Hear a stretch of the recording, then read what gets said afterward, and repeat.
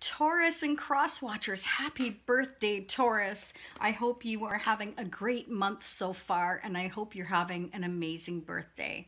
Thank you so much for being here. I'm going to go ahead, I'm going to get started. So, what I'm doing is I'm using two of the same decks. I'm using one for your energy and one for whoever you are thinking about. It can be a love interest, it can be a crush, it can be an ex, whomever if you're not thinking about anybody, this may be all your energy. Remember, it is a general reading, so take what resonates, leave what doesn't. I'm going to use the mutual energies for you with my Shasie Prism Tarot deck. Okay, so let's check out and see what's going on. I've already meditated on your cards. For those of you that are interested and brand new, welcome to Shasie Tarot. We appreciate each and every one of you.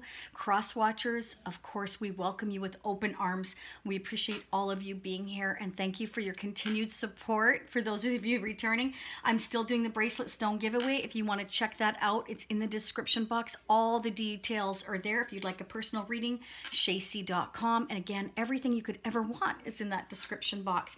If you're wearing earbuds or headphones, I'm going to ask you to take them out for a minute because the shuffling can get quite loud, okay? So for Taurus, Sun, Moon, Rising, and Venus, please.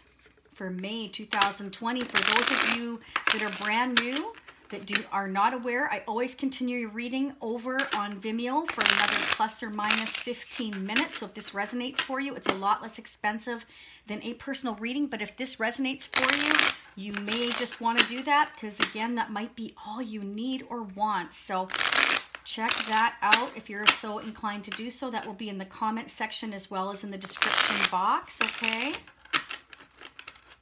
For Taurus, please. Sun, Moon, Rising, Venus. Now, in the extended, for those of you, the continuation that aren't aware, it's uh, I dig a lot deeper, okay? So we'll be using a lot of other clarification decks. I'll be using my 1960s and 1970s vintage cards to clarify all of these cards, as well as pick a card with the Romance Angels. We're going to see, you know, what kind of love messages there are for you. I'm also going to do some guidance messages from the universe using the Moonology.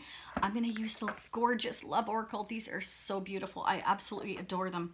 So we will dig a lot deeper. Yesterday, I did the Scorpio video, and I got four clarifications from four different decks. I was just, I was in shock. I have to tell you, I've never had that happen before. So, you know, it uh, definitely the extended for those of you, if this is resonating for, I will be digging a lot deeper. I will be concentrating on June 2020. I'll be doing a sneak peek at that as well as what are your love interest feelings about you, etc. For those of you that have a love interest. Okay, this is long enough. Let's get going. For Taurus, please, Sun, Moon, Rising, and Venus. What is going on for Taurus that they need to know for their highest good, please, spirits for Taurus, Sun, Moon, Rising, and Venus? What are the messages that Taurus needs to hear for their highest good? For May 2020, what are the messages? Now remember, divine timing. I've had things happen six months to a year later. I've had people come back to me regular clients of mine have come back to me and, and they've said, oh, well, you know, it doesn't really resonate. But six months later, they come back and they're like, wow, this is happening now.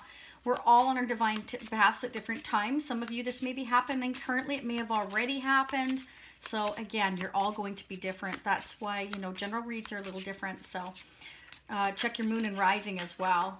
You have the magician. Wow, Taurus, you're trying to make things happen here. Magician is having everything within your power. You can make any change you want in your life if you're willing to put in the effort. And Spirit is saying you definitely can.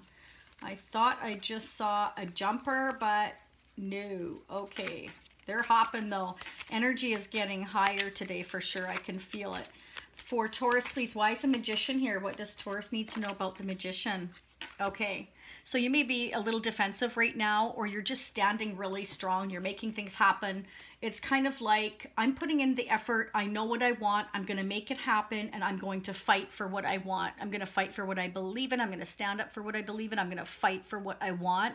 And you are standing strong. As you can see, you've got the advantage. You're on top of the hill, and all these other guys are female, male, doesn't matter, or all down the bottom there. It's kind of like, I don't care. I'm fighting for what I want. I'm standing firm for what I believe in. I'm going to make everything happen. I know I can do it. I have everything within my power to make everything happen that I want to make happen. And I apologize, Taurus, but I cannot stand it if my candle burns out for your reading. I have to light it. So bear with me. We have to have candlelight. I like to take away any negative energy For those of you that are returning, you already know this, but for brand brand new subscribers, yeah, please don't leave without subscribing. My girls and I truly appreciate watching the channel grow. I always have healing stones surrounding your reading, uh, especially the smoky quartz, because that takes away negative energy for those of you that aren't aware. And I always burn the sage as well, and I meditate on your cards prior to camera. Okay, let's keep going. Why is a seven of wands here? So you could be dealing with a Leo, Sagittarius, or Aries. You know, it doesn't have to be. And I feel you are the magician. Okay, if it's not you, it's someone close to you that, you know, is standing strong and going after what they want.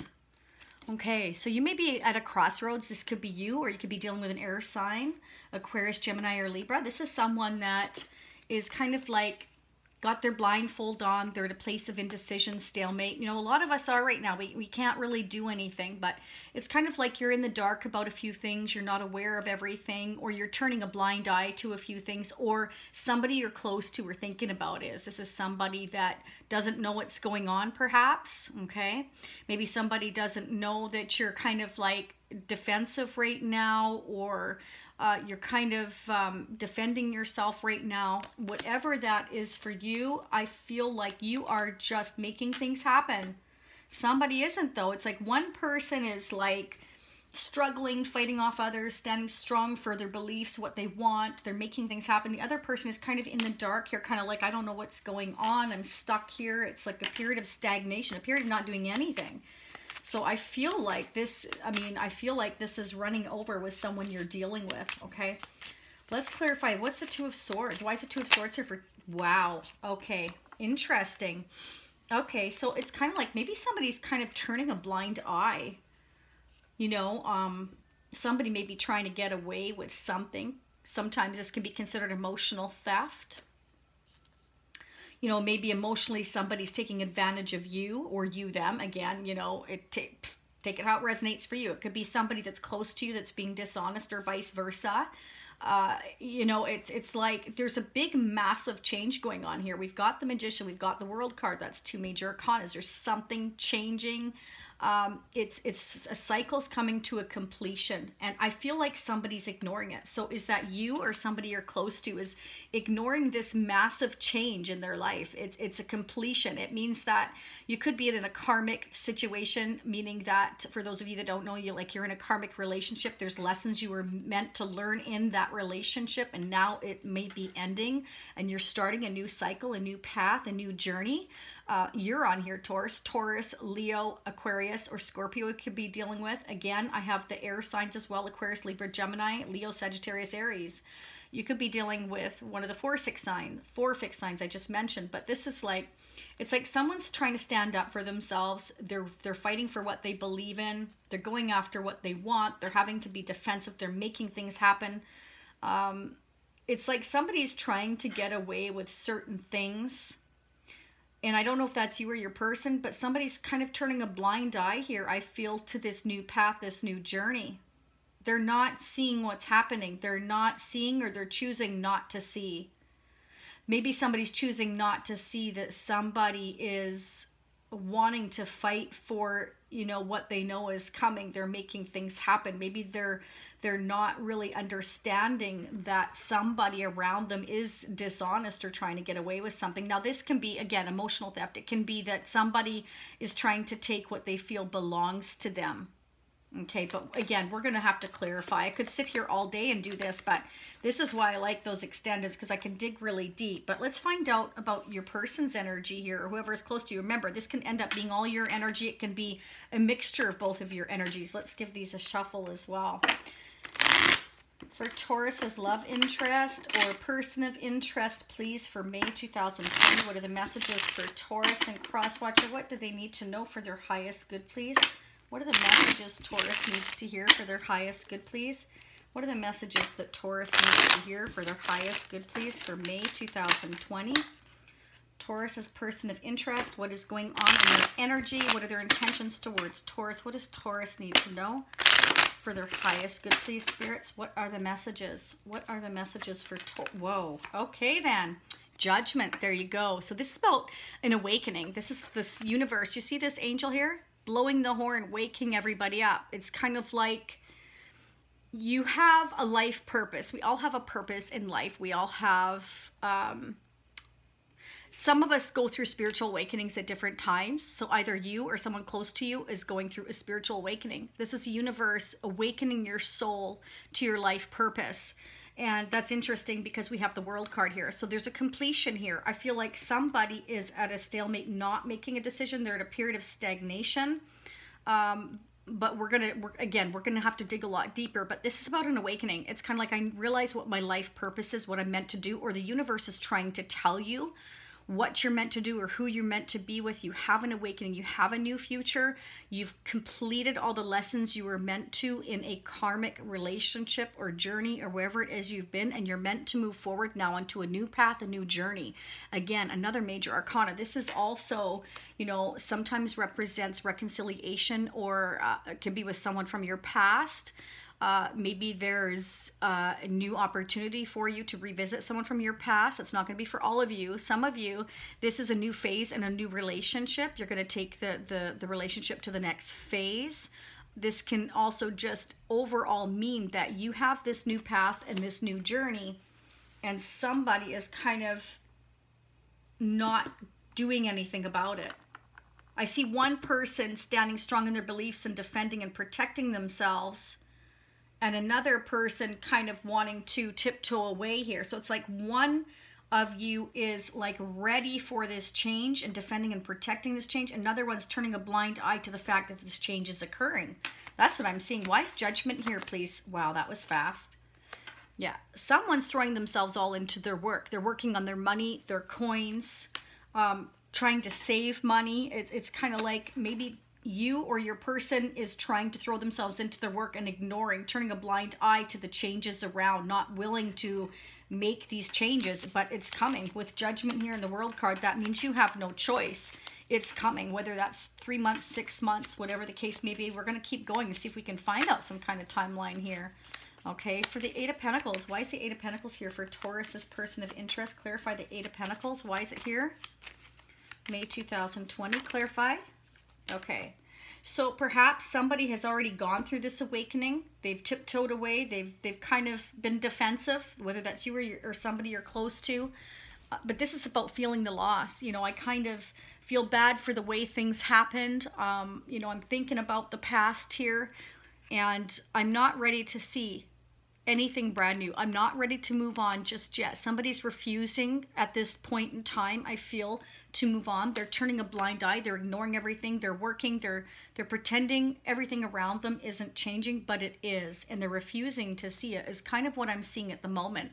And this is somebody that's focusing on what was, not what could be for the future. Somebody still has two cups here uh, these ones have spilt over. You see, there's all that on the on the ground there. Those are emotions. Cups are about emotions. So somebody's like just they're they're turning a blind eye to these changes around them, refusing to see, keeping their blindfolds on. They're refusing to move forward. They want to stay in the dark. They're they're turning a blind eye to what's going on right in front of their eyes. I feel because they're keeping their blind. They're ignoring it. They're they're just ignoring it. They're plain and simple ignoring this change.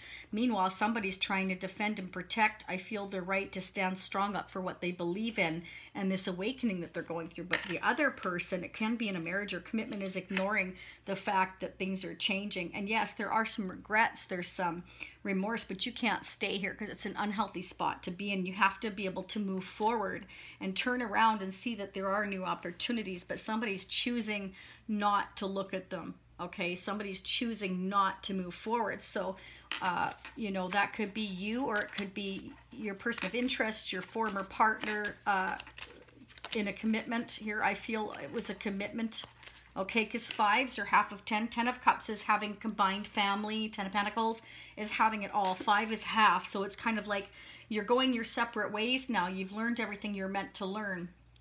Somebody's trying to tiptoe away from this long-term relationship. The other person's refusing to see this change. That's what I'm seeing. So for some of you, that's what I'm seeing. I'm not seeing anything about... I feel like this is becoming single is what I feel. Okay? And somebody's focusing on making their money. Okay? Yeah, wow. Taurus, Wheel of Fortune. This is the change. This is the timing. This is the new journey here. This is something that is, and I could have told you that when I saw the judgment card. This is a fated, destined change. World card, judgment, you know, Wheel of Fortune. This is a destined, fated change for you. It, it's absolutely meant to happen. You've learned everything in the relationship or the, the, the, uh, the um, circumstances you lie in right now. And there's no, there's nothing else left to learn there. There's, uh, the love that once was you know is not there any longer. It's not the same. It's gone. You've learned everything there. You're meant to move forward here. This is the wheel of change and it's all in the timing. Imagine this is a clock. It's all in the timing okay so yeah you're meant to move forward and it's it's it's no one's fault. It just means that the universe is saying, okay, you've got a new phase in your life to begin. We're trying to wake you up here. So you may be feeling tapped on the shoulder by the universe to make these changes. And I feel like you're having to defend and protect your right to go after what you want, what your beliefs are. Maybe somebody doesn't believe in um, in your path okay and you're having to kind of fight everybody off and uh, that's that's what i'm seeing here and you may feel bad for how things turned out, but you're kind of like this is change that's meant to happen. I feel like you're you're feeling the calling to to to move forward and to move on. Let's get the mutual energies and you know uh, again, some of us go through spiritual awakenings at different times and it's nobody's fault. This is this is again a karmic lessons that we're all meant to learn and then move on and take all of our knowledge to a next phase in, in our life here. It could be a new relationship, a new job, a new path. It doesn't matter. It's starting fresh. It's starting over again and learning new uh, lessons and taking your knowledge again to um, your, the next phase of in your life. Okay. So for Taurus and their person of interest, love interest, X, whomever Taurus is thinking about. What are the mutual energies, please? What does Taurus need to know for their highest good? How is their person feeling about them? Vice versa. What are the messages Taurus needs to hear? Fertility, birth. So there you go. Brand new. A brand new start here. There's something new birthing for you. This is a new birth, a new phase in your life, a change. You've completed everything and you're starting brand new. It's like having, I always describe it as a bucket list. You're meant to move forward. And I feel like you're having to defend that. You may be even having to kind of be sneaky and, um, maybe somebody's refusing to see this change and you're trying to make the change and you're having to defend it and so like you're trying to, to move on you're trying to move on and so you feel like you have to kind of tiptoe around somebody or something or someone's doing this to you okay because somebody's got their blindfold on they're refusing to see this change this could be you you know maybe you're in a relationship or a long-term marriage or commitment right now and uh, your person is doing things or trying to take things behind your back you know, we're going to clarify more in the extended. We have to dig deep, Taurus. There's something really deep going on here.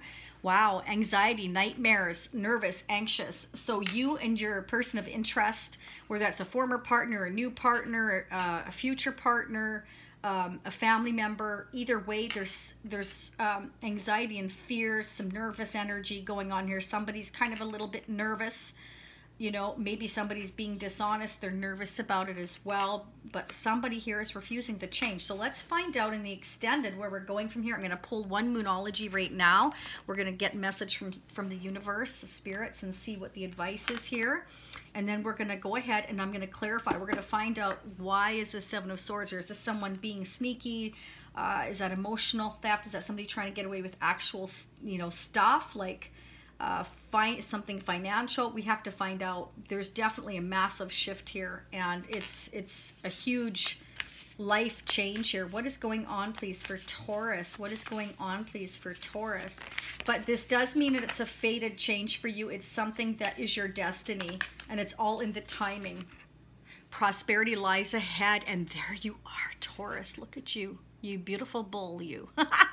this is gorgeous. Prosperity lies ahead. So this is the universe saying Wheel of Fortune. Now, Wheel of Fortune can be anything. This can be, um, you know, you are moving towards wealth and prosperity. And once you make this this destined fated change for yourself, you are going to move towards a more prosperous future. You're meant to move forward. The change is meant for you. And as hard as that is for you to deal with, this is des- this is your destiny here. Um, and this can mean that maybe you'll win a lottery. I mean, I have no idea, but let's go find out. We're going to find out what this changes and what kind of lies ahead. Prosperity lies ahead for you. You know, it might be a new job, a new career, a new business, a new relationship uh, we're going to dig deep. Okay, so if this is where you leave me, Taurus, I will see you next time. Please don't leave our channel without subscribing. It's free. Liking this video, it's free. Hit that notification bell. The bracelet giveaway again is in the description area. Leave me comments. Tell me what's going on with you. I want to hear from you. Thank you so much. For those of you leaving me now, I will see you next time. For those of you seeing me for your bonus um, extended continuation on Vimeo, again, we're going to dig a lot deeper. We're going to focus on June 2020 sneak peek. I will be right there. Stay happy, stay healthy, stay safe, and again, happy, happy birthday. Namaste.